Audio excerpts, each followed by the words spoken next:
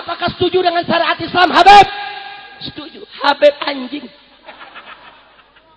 Habib Rizik, apakah Habib Rizik setuju dengan syariat Islam? Ya, saya setuju. Habib Rizik anjing. Kurang ajar saudara. Semua kita jadi anjing. Kiainya anjing, Habibnya anjing, GPK-nya anjing. Kurang ajar tidak? Kurang ajar tidak? Saya mau tanya, yang anjing kita atau liberal? Kita atau liberal? Kita atau liberal? Takbir! Makanya biar anda tahu saudara, liberal itu sudah menganjing-anjingkan kita. Jadi jangan kaget. Kalau saya dan kawan-kawan di front pembela Islam, kalau sudah bicara liberal, kita HBC. Sebagaimana mereka menghabisi kita, saudara. Betul? Betul? Oh, ada yang bertanya, Habib, kenapa tidak dialog saja dengan liberal? Eh, saudara, ini bahasa yang mereka buat. Ini bukan bahasa dialog. Ini sudah menghina Allah, menghina Nabi, menghina Al-Quran, menghina Islam. Ini bukan bahasa dialog, ini bahasa perang, saudara. Betul? Saya mau tanya semua yang ada di sini siap bela Allah, siap bela Nabi, siap bela Al-Quran, siap bela Islam. Takbir! Alhamdulillah. Kalau saya bacakan satu persatu bukunya, saudara, sangat banyak. Ini masih ada buku fikih lintas agama, saudara. Dalam buku ini terang-terangan, dia katakan, saudara, saya tunjukkan kepada anda, di sini dikatakan, di halaman 133, umat beragama apa pun tidak kafir. Karena semua agama sama dan benar. Sehingga tidak boleh ada yang mengklaim bahwa agamanya yang paling benar. Sesat tidak? Murtad tidak? Oh, enggak sampai di situ, saudara. Di sini dia katakan, atas dasar hikmah dan kemaslahatan persaudaraan untuk membangun keharmonisan hubungan antar umat beragama, maka di halaman 72 dikatakan umat Islam boleh mengucapkan salam kepada orang kafir. Bahkan umat Islam wajib menjawab salam orang kafir. Halaman 84, umat Islam boleh mengucapkan selamat Natal. Bahkan lebih afdol kalau umat Islam ikut hari Natal. Halaman 102, umat Islam boleh mendoakan orang kafir untuk minta ampun agar mereka masuk surga. Bahkan lebih bagus kalau umat Islam minta doa dari orang kafir. Halaman 110 saudara, masjid yang mana saja boleh dimasuki oleh orang kafir. Kapan saja, di mana saja, termasuk Masjid Nabawi dan Masjidil Haram di kota Mekah. Walaupun tidak darurat, saudara. Kemudian halaman 167 saudara dikatakan bahwa umat Islam boleh untuk kawin dengan agama apa saja saudara. Ini menyebut figi lintas agama. Ini figinya ngawur tidak? Ngawur tidak? Sesat tidak? Murtad tidak? Mau tahu siapa pengarangnya? Betul? Bacakan. Saya bacakan saudara. Ini ada yang masih hidup, ada yang sudah modal. Ada profesor doktor, ada kiai. Bahkan ada pimpinan ormas Islam. Mau dibacakan? Betul? Ini bukunya, saudara. Yang pertama, Nur Kholis Majid. Yang kedua, Kausar Azhari Nur.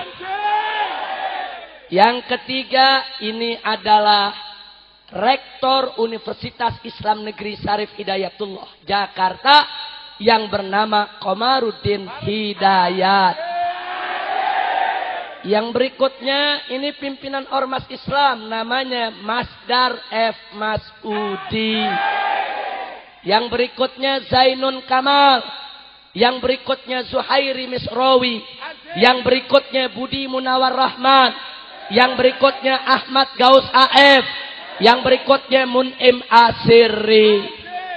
Saya mau tanya, saudara, kalau yang nulis ini ngaku Islam percaya tidak? Kalau yang nulis ini ngaku ahlus sunnah percaya tidak? Yakin? Eh saudara, sekarang ini banyak orang mencatut nama. Dia menyebarluaskan liberal, dia catut nama NU, dia catut nama Muhammadiyah. Padahal NU dan Muhammadiyah bukan liberal, saudara. Betul? Betul? Eh, yang namanya NU Nahdlatul Ulama itu organisasi Islam Ahlus Sunnah wal Jamaah yang terbesar ada di Indonesia. Betul? Saya tanya NU Ahlus Sunnah bukan? Ahlus Sunnah bukan? Eh, saudara biar tahu yang namanya orang NU jangankan menghina Al-Quran saudara. Megang mushaf Al-Quran tanpa wudhu nggak berani saudara. Betul? Betul? Saya mau tanya orang NU. Kalau tidak ada wudhu berani nggak megang mushaf Quran? Boleh tidak megang mushaf Quran? Lihat orang NU. Jangankan menghina Al-Quran saudara. Saking cinta kepada Al-Quran. Saking mengagungkan Al-Quran. Saking mensucikan Al-Quran. NO. Pegang mushaf Quran tanpa wudhu. Nggak berani saudara. Subhanallah. Betul? Betul? Betul? Maka itu saudara. Orang NU nggak mungkin menghina Al-Quran. Betul? Orang NU nggak mungkin merendahkan Al-Quran. Betul? Jadi kalau ada orang ngaku NU terus menghina Al-Quran, NU bukan. NU bukan. Bukan NU tapi anjing. Asu. Takbir. Takbir. Ngaku NU seenaknya. Hei, NU itu ahlus sunnah wal jamaah. Betul? Ikut fikih Imam Syafi'i. Betul? Ikut akidah As'ari. Betul? Nggak ada NU menghina Al-Quran. Betul? Kalau ada orang ngaku NU menghina Al-Quran, itu NU gadungan, NU palsu, pura-pura jadi NU, hanya menjelek-jelekkan NU saja. Betul? Siap jaga NU? Siap bela NU? Siap singkirkan yang suka mencatut nama NU? Takbir! Sallu ala Nabi. Allahumma salli wa sallim alaih. Nah, saudara, kalau Anda sudah tahu itu, maka di sini saya ingin tambahkan. Ini udah jam berapa nih? Udah terus. Udah terus. Baik, sebentar lagi. Perhatikan, Bu. Bu. Bu. Paham liberal, Bu? Tahu liberal, Bu? Liberal Islam bukan, Bu? Liberal Islam bukan, Bu? Udah cukup, paham itu aja udah bagus. Alhamdulillah. Kita ahlus sunnah wal jamaah wajib menjaga akidah, menjaga syariat, membela agama Allah dan Rasulnya. Betul? Tidak boleh kita biarkan orang menghina Allah dan Rasulnya. Tidak boleh kita biarkan siapa pun menghina Islam. Setuju? Siap bela Allah. Siap bela Rasul. Siap bela Quran. Siap bela Islam. Siap mati di jalan Allah. Takbir. Nah, sekarang saya mau kasih informasi penting. Mau informasi?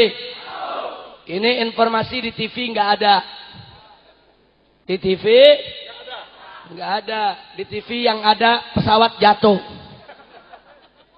Tahu pesawat jatuh? Betul. Itu jatuh nubruk gunung salak. Nah itu Presiden Rusia protes sama Presiden Indonesia. Kata Presiden Rusia, kenapa Indonesia tidak tahu, tidak beritahu kepada kami supaya pilot kami mengerti bahwa di Indonesia ada salak segede gunung.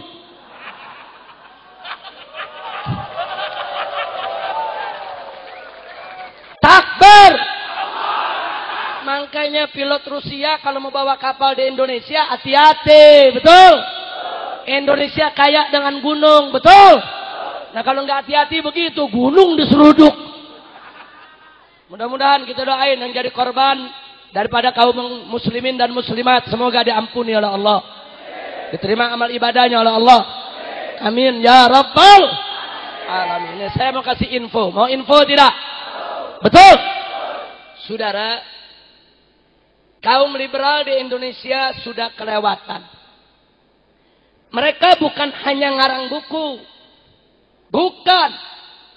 Tapi mereka berusaha ke DPR, berusaha ke Mahkamah Konstitusi, berusaha ke Mahkamah Agung untuk membatalkan seluruh undang-undang yang bernafaskan Islam. Mau tahu tidak? Mau tahu tidak? Satu, undang-undang pornografi dituntut oleh liberal ke Mahkamah Konstitusi diajukan judicial review supaya undang-undang tersebut dibatalkan oleh Mahkamah Konstitusi. Kalau dibatalkan saudara, maka orang Indonesia bebas mau pornografi, porno aksi kapan saja dan di mana saja saudara. Berbahaya tidak? Tapi alhamdulillah kita lawan mereka. Kita hadapi mereka di Mahkamah Konstitusi dan akhirnya mereka kalah, saudara. Alhamdulillah. Yang kedua, saudara, undang-undang perjudian. KUHP pasal 303 mereka gugat di Mahkamah Konstitusi. Itu pasal melarang perjudian di Indonesia. Kalau itu dikabulkan gugatannya, maka judi bebas dilakukan di mana saja, kapan saja secara terbuka, saudara. Kita lawan mereka, kita hadapi mereka di Mahkamah Konstitusi, dan alhamdulillah mereka kalah lagi, saudara. Takbir. Yang ketiga, undang-undang penodaan agama Pempres nomor 1 tahun 1965 mereka gugat judicial review ke Mahkamah Konstitusi. Kalau mereka berhasil, maka orang mau hina Nabi, mau hina Quran, mau hina Islam, termasuk yang mau bikin agama baru, aliran sesat, semua bebas karena merupakan hak asasi manusia kata mereka saudara. Alhamdulillah kita lawan lagi mereka berbulan-bulan. Di Mahkamah Konstitusi, saudara. Dan akhirnya mereka lagi-lagi kalah. Takbir. Ini adalah pertolongan Allah. Betul? Betul. Yang keempat, ada perda-perda di daerah-daerah yang melarang minuman keras, saudara. Dilarang. Saudara, ada 351 perda. Alhamdulillah. Eh digugat ke Mahkamah Agung, saudara. Kalau liberal menang dalam gugatan, maka seluruh perda yang melarang miras batal, saudara. Kurang ajar tidak? Kurang ajar tidak? Kita lawan mereka di Mahkamah Agung. Dan Alhamdulillah. Akhirnya mereka kalah lagi saudara. Takbir. Takbir. Allah kasih kita semua menang. Alhamdulillah. Apa liberal berhenti? Tidak. Tidak saudara. Mari kita lihat. Diam-diam orang-orang liberal di DPR, saudara, buat rancangan undang-undang kesetaraan gender. Ini fotokopinya, saudara. DPR RI membentuk tim kerja disingkat Timja. Berangkat ke Eropa melakukan studi banding. Biaya miliaran rupiah untuk mempelajari kesetaraan gender. Pulang dari sana pada tanggal 24 Agustus tahun 2011 dia buat undang-undang rancangan undang-undang kesetaraan gender, saudara. Apa isinya? Mari kita lihat. Ini belum jadi undang-undang. Ini baru draft rancangan, saudara. Mau tahu isinya? Betul. Mari kita lihat, saudara. Di bab satu dikatakan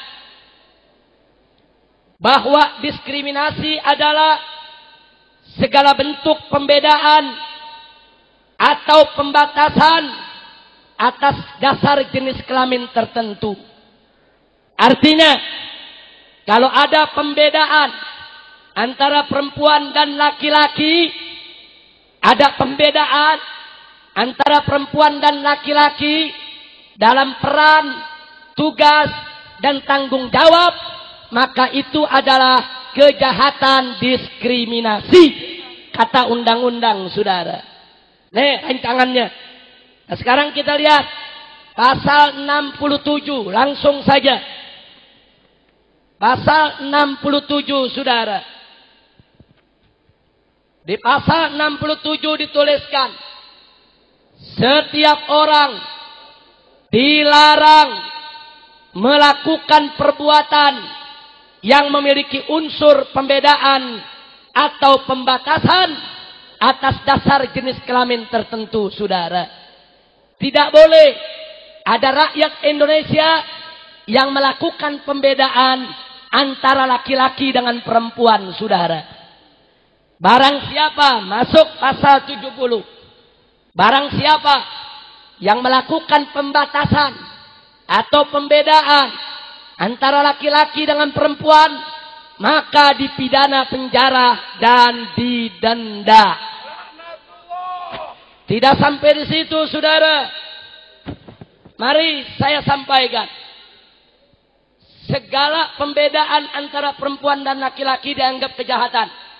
Siapa yang melakukannya, dia dipenjara dan didenda. Saya mau tanya sama yang hadir, saudara. Laki-laki dengan anak perempuan. Kalau bagi warisan, anak laki-laki dua kali bagian perempuan. Betul? Ajaran agama apa itu? Datang dari mana itu? Datang dari Allah subhanahu wa ta'ala. Tapi jujur, pembedaan bukan? Pembedaan. Laki dan perempuan dibedakan. Yang laki-laki dua, yang perempuan satu, saudara. Kalau coba-coba besok anda bagi warisan seperti itu, bapak, ibu, coba-coba bagi warisan, laki dua kali perempuan, bapak dan ibu ditangkap dipenjara dan didenda saudara. Baik saya mau tanya wong deso. Kalau kita bikin akekah punya anak perempuan, potong kambing berapa ekor? Anak laki? Maka kalau anak perempuan gak rela, dulu aku kecil satu ekor kambing. Kenapa adikku yang laki-laki dua ekor kambing? Ini pembedaan. Itu anak perempuan lapor ke polisi. Bapak ibu di penjara. Kacau tidak? Kacau tidak? Saya mau tanya yang ada di sini, perempuan boleh khutbah Jumat tidak? Boleh tidak? Boleh azan di masjid? Azan? Boleh tidak? Eh, ada perempuan di kampung sini mau azan di masjid maksa ngotot mau jadi khotib Jumat. Kira-kira sama kiai diizinin enggak? Diizinin enggak? Kiai enggak izinin, itu anak perempuan lapor polisi. Hak saya dirampas oleh Pak Kiai. Kenapa lelaki boleh azan, saya perempuan tidak boleh? Kenapa lelaki boleh jadi khotib, saya perempuan tidak boleh? Ini pembedaan antara laki-laki dan perempuan. Ini pembatasan antara laki-laki dan perempuan maka Pak Kiai di penjara. Kacau tidak? Kacau tidak? Kacau tidak? Baik, Bu. Bu. Ibu punya anak laki maghrib masih di luar sampai isya ibu maklumin. Punya anak perempuan sebelum maghrib mesti pulang ke rumah. Betul? Anak perempuan ibu nggak terima. Ini pembedaan. Kenapa anak laki boleh pulang malam? Kenapa saya anak perempuan tidak boleh pulang malam? Si anak tidak suka, lapor polisi. Ibu di penjara. Kacau tidak? Kacau tidak? Bahkan di pasal sebelumnya saya tunjukkan saudara di sini disebutkan setiap anak wanita berhak memilih suami secara bebas. Jadi kalau anak perempuan bu, bu, kalau anak perempuan sudah 17 tahun, dia mau kawin dengan siapa pun, ibu nggak boleh larang. Walaupun dia kawin sama orang kafir. Ini undang-undang sudah. Ini undang-undangnya. Kalau anak ibu mau kawin sama orang kafir, saya tanya ibu, setuju tidak? Setuju tidak? Ibu tolak tidak? Kalau ibu tolak, ibu dilaporkan ke polisi. Ibu sudah merampas hak kebebasan. Ibu di penjara. Kacau tidak? Kacau tidak? Oh, nggak sampai di situ, saudara. Saya tunjukkan satu lagi. Di sini disebutkan bahwa suami dan istri dalam rumah tangga adalah mitra. Tidak boleh ada yang jadi kepala keluarga, saudara. Mitra sehingga segala keputusan dalam keluarga harus kesepakatan bersama. Artinya, maaf, malam suami mau nidurin istri, udah kebelet, istri nggak mau, jangan mas capek. Kira-kira sama orang sini ditubruk juga ya? capek-capek dikit lah. Betul? Istri nggak bisa melawan, layani suami. Istri tidak suka, besok lapor polisi. Pak, saya semalam diperkosa. Diperkosa siapa? Suami. Lo kenapa? Karena kami mitra, harus ada kesepakatan.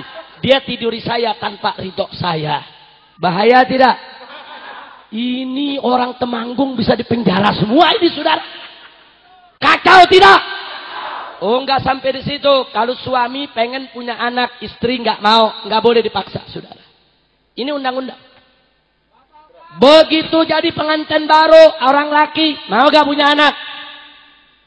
Mau gak punya anak? Ngomong sama istri, istri nggak mau, nggak boleh dipaksa. Kalau anda paksa, anda tiduri sampai dia hamil, maka si istri akan lapor ke polisi. Pak polisi, saya dibuntingi orang. Secara paksa. Polisi tanya, siapa yang membuntingimu? Suami. Lo kok dilaporin? Saya dipaksa. Saya nggak mau punya anak. Saya tidak setuju. Saya tanya, bahaya tidak? Bahaya tidak? Jadi saya mau tanya, ini rancangan undang-undang mau bela kaum wanita atau mengurusak rumah tangga?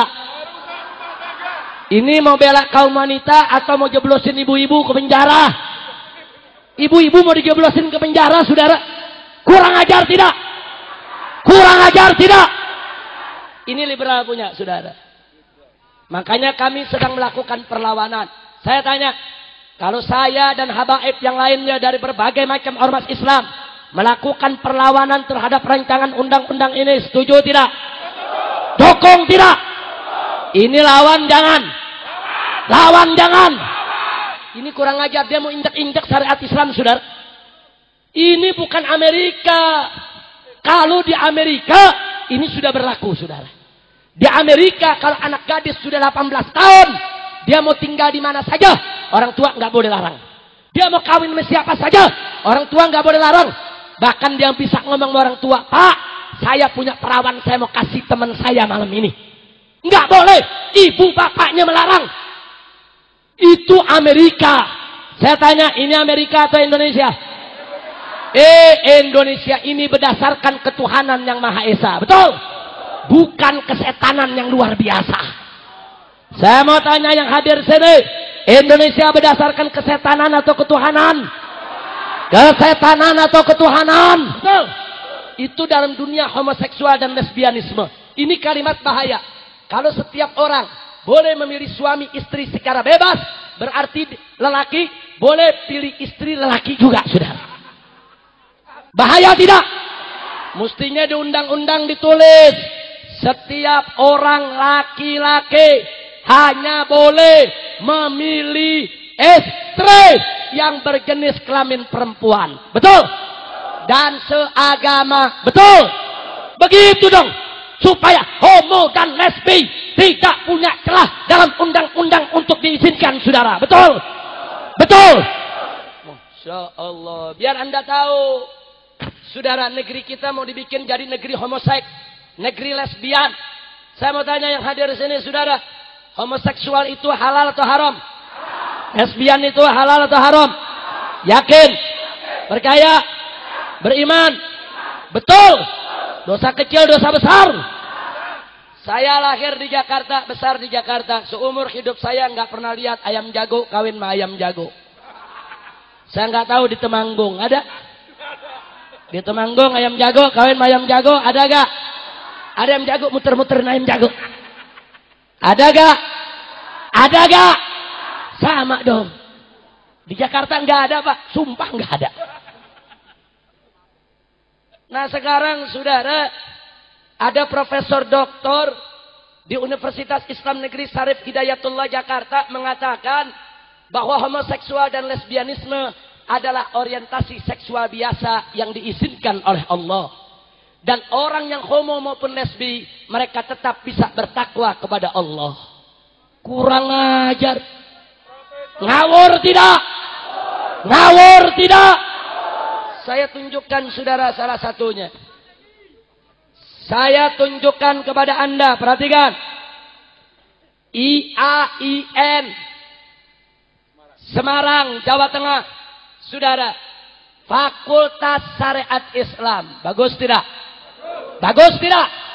Fakultas Syariat Islam IAIN IAIN Semarang Jawa Tengah.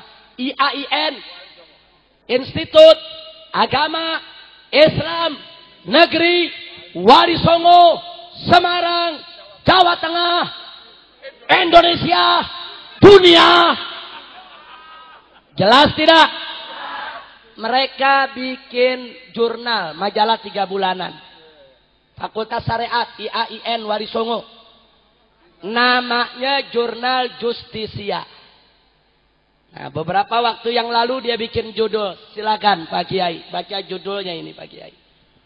Indahnya kawin sesama jenis. Kire ya. Coba lihat Saudara. Judulnya indahnya kawin sesama jenis. Ngawur tidak? I-A-I-N. Sa ini saudara fakultas syariat Kacau tidak? Eh saudara, kalau yang bicara begini preman, kita nggak kaget, nggak ngerti agama, betul? Kalau yang bicara begini bajingan, kita nggak kaget, memang nggak ngerti agama, betul? Kalau yang bicara begini di kolong jembatan, kita nggak kaget, memang nggak ngerti agama, betul? Ini yang ngomong fakultas syariat. I-A-I-N. Warisongo. Semarang, Jawa Tengah. Ngawur tidak? Ngawur tidak? Saya mau tanya nih. Saudara. Saudara. Saudara. Ayam. Tahu ayam? Ayam. Ayam. Enggak punya akal. Betul? Ayam nggak punya akal, tahu laki nggak boleh nyodok laki.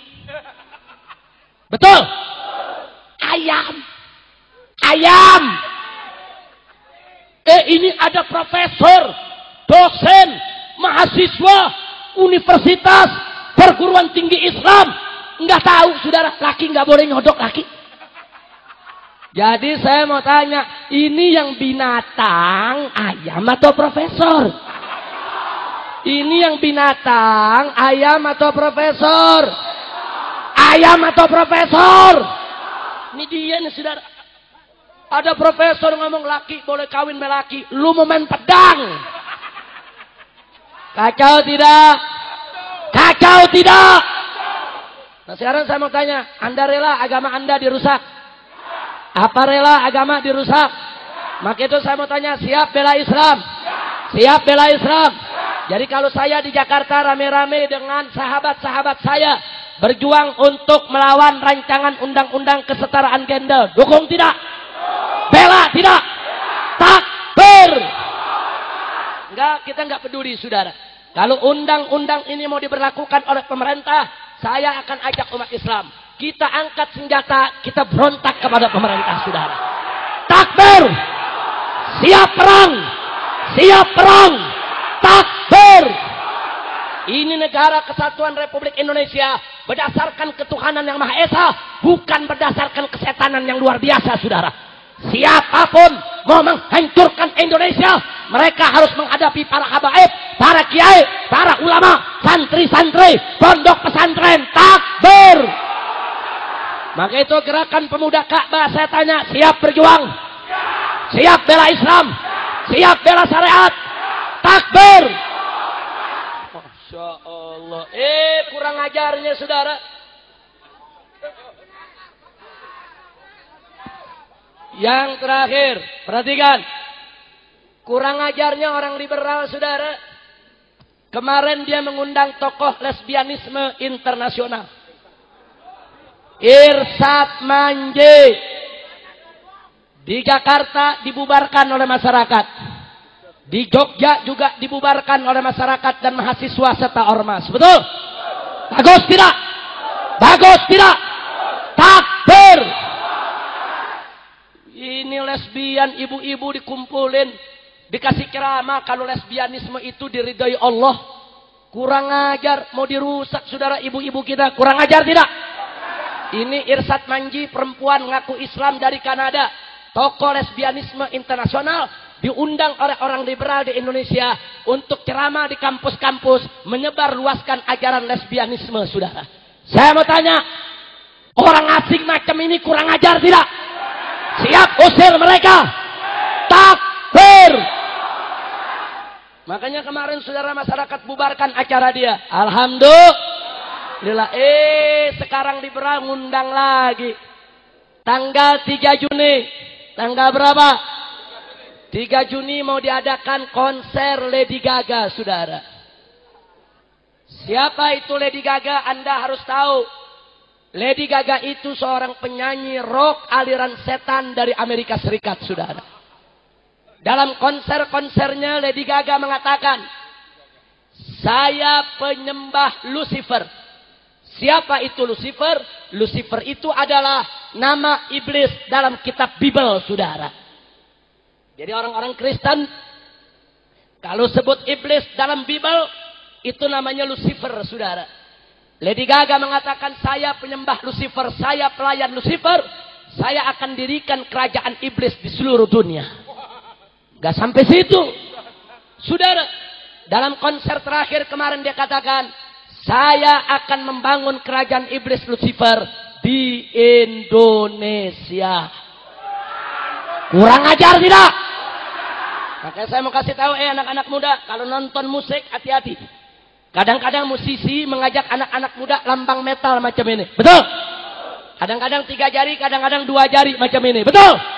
Eh, saudara. Ini lambang iblis Lucifer, saudara.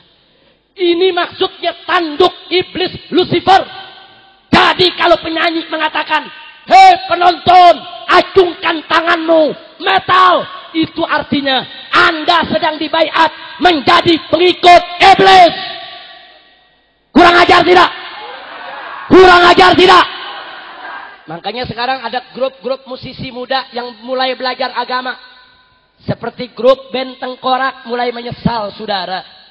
Nyesal datang ke saya. Dia nyesal. Habib. Kami termasuk yang menyebar luaskan lambang ini. Dia menyesal. Dia mau berhenti, mau bubar.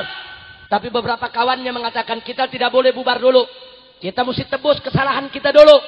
Maka itu sekarang grup ini dan kawan-kawan kalau mereka tampil, penonton tidak lagi diajak dua jari. Hei penonton, angkat satu jarimu. Artinya apa? Tahu. Hei, la ilaha illallah.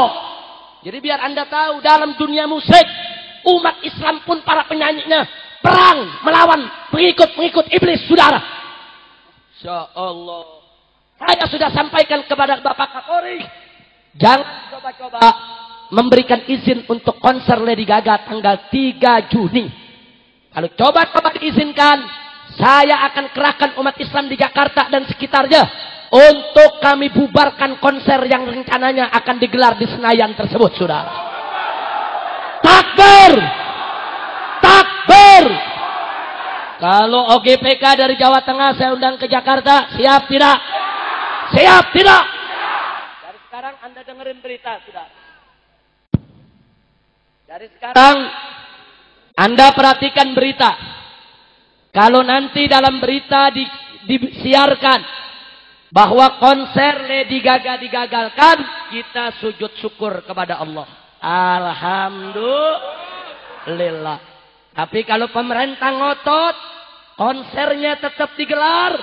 Saya undang umat Islam, hei orang Jawa Tengah, kalian datang ke Jakarta, datang ke Jakarta, bawa senjata kalian, kita bubarkan saudara konser Lady Gaga, saudara. Takbir. Siap datang ke Jakarta. Siap serbu Senayan. Siap bubarkan konser. Saya tanggung jawab dunia akhirat, saudara. Saya katakan kepada Kapolri kalau mau tangkap, tangkap saya dari sekarang. Oh, Habib Rizik provokator. Ya, buat provokator. Mau? Betul. Takbir. Takbir. Enggak ada urusan dibilang provokator, saudara. Eh, umat Islam di Indonesia mayoritas. Umat Islam di Jakarta, umat Islam adalah mayoritas. Banyak habaib, banyak kiai, banyak pesantren, banyak majelis taklim. Kita mau diberakin, kita mau dikurang ajarin. Seenaknya mereka ini merusak anak-anak muda kita. Biadab. Saya tidak peduli, saudara. Pemerintah mau tangkap, mau penjara, mau bunuh sekalipun selama hayat masih di kandung badan. Gak boleh ada yang coba-coba merusak umat Islam, saudara. Takbir. Siap datang ke Jakarta. Siap serbu Senayan. Siap bubarkan konser iblis. Takbir. Saya tanggung jawab dunia akhirat. Apa pun yang terjadi saya sampaikan kepada pemerintah dari sekarang. At, mau itu Senayan dibakar sekalian tidak ada urusan saudara. Saya tanggung jawab dunia akhirat. Ini negara Republik Indonesia. Gak boleh untuk diliberalkan oleh siapa pun. Betul? Siap berangkat? Siap jihad? Takbir! Makanya pulang dari sini ke rumah asagolok yang tajam. Asap arang yang tajam. Udah punya barang. Asa yang tajam. Yang gak punya, minta mekiai. Amin. Amin. Siap perang. Betul. Jangan, jangan takut. Oh Habib, nanti Habib ditangkap Densus 88. Ye. Salep 88. Obat kurap. Takbir. Salep 88 obat. Jangan. Habib ame kiai mau ditakut-takutin masalah 88. Ye. Unyil. Takbir. Makanya GPK pokoknya di Jawa Tengah jangan pernah mundur untuk bela Islam. Betul? Siap berjuang? GPK dan FPI siap gandeng tangan? Siap berjuang bareng? Siap masuk surga bareng? Siap mati bareng? Takbir! Sallu ala Nabi. Makanya saya waktu dengar Kiai Haji Sihabuddin, Kiai Haji Ahmad Rafi'i, Habib, ini Pak Kiai ditangkap masuk penjara. Alhamdulillah. Loh, kok Habib Alhamdulillah? Iya, Alhamdulillah. Itu menunjukkan kalau kiai-kiai kita lurus berjuang di jalan Allah. Alhamdulillah.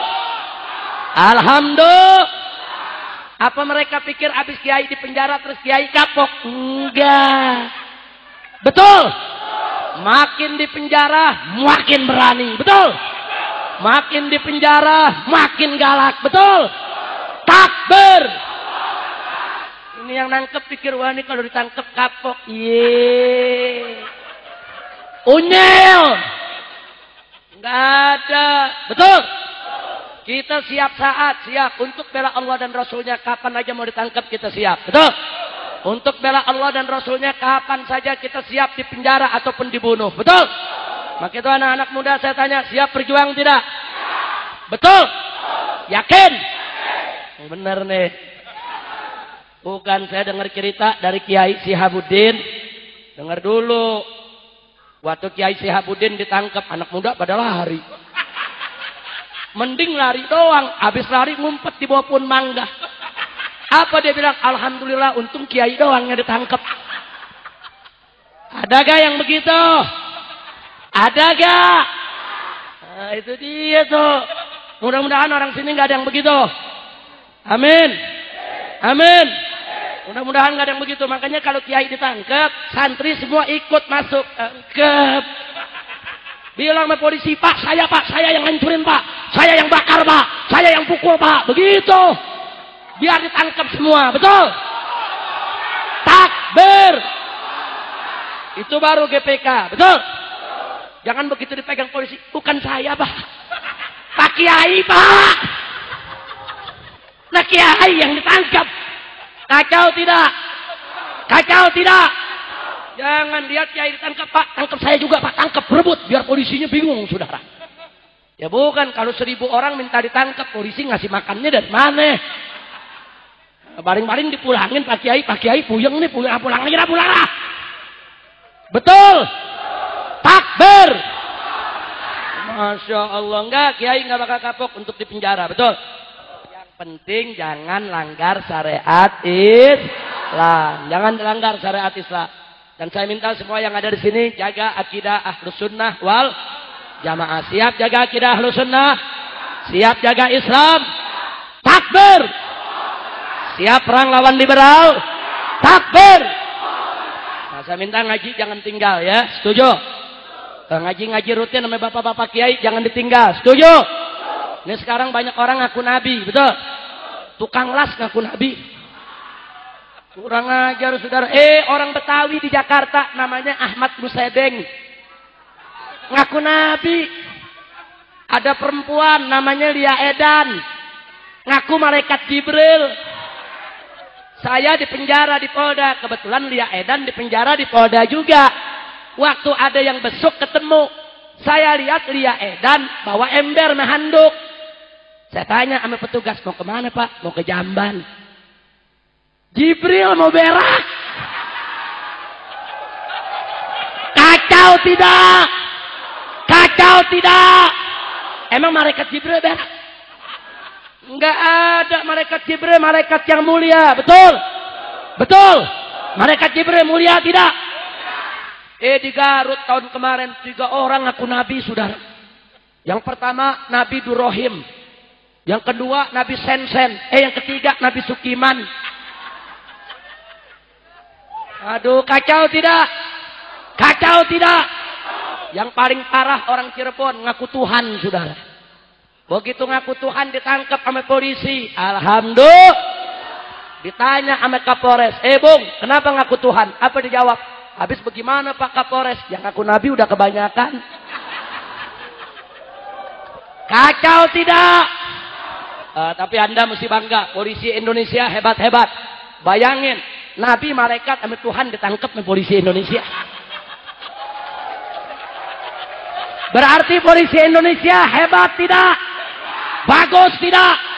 Polisi nangkep Nabi palsu, dukung tidak? Polisi nangkep malaikat palsu, dukung tidak? Polisi tangkap Tuhan palsu, tangkap tidak?